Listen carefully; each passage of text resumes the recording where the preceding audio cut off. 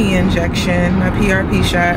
Um, I'm on my way to see my therapist this morning. A little bit of a struggle because I had a rough day yesterday. Hasn't been feeling much better, but the doctor did tell me that it would probably take about a week or so to start feeling some effects.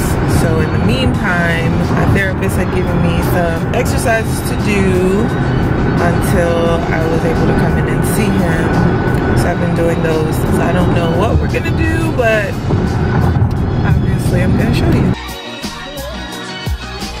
So what are we doing here? Blood flow restriction training. So we're gonna use pressure to decrease your body's ability to bring blood to and from the lower extremity. And this is gonna mimic what happens when you lift really heavy at 85% of your one rep max. Right now we can't lift heavy. So this is a, a great option to give you that same feeling so your brain will help us release growth hormone and, and augment healing. We'll get the muscles to grow at the same rate as if you lifted heavy. You're gonna feel pressure. You don't want the pain to be great. If the pain's greater than seven out of 10, you need to let me know immediately. We're gonna start with bridges. Do you feel comfortable with double leg bridge or do we need to put a foam roll underneath you? Yeah. One round of 30 double leg bridges.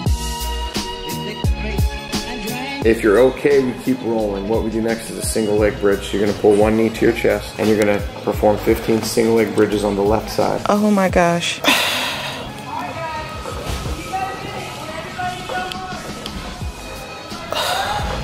We want it to feel like you're squatting at 85% of your one rep max. That's what your brain needs to feel.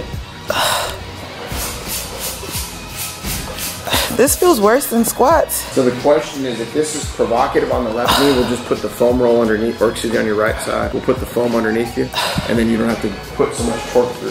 Is that, so let me know when you hit 15. So now you're just gonna go through the femur, 15. Your glute's gonna feel like it's going to cramp. What the hell? It won't cramp.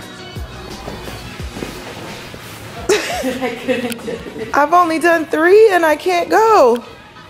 Help with the left a little if you need to.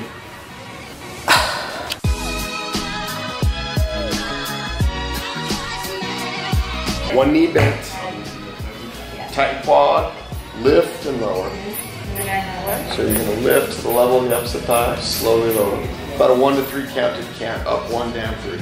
So you heard the doctor tell me last week, no running, so I'm on a restricted activity cycle. Was this taking some of the pressure off? Exactly, a little distraction and tibial rotation mobilization. Give you some room to breathe. Allow that PRP to do its do its job. I got a quick bike workout in, uh, about 30 minutes here, a little interval sprint workout, and then I got some core in, and that was that. So I hope you guys enjoyed. I'm gonna try to take you guys along for the rest of my road to recovery. Um, but as usual, go ahead and subscribe, give me a thumbs up, and I'll see you next time.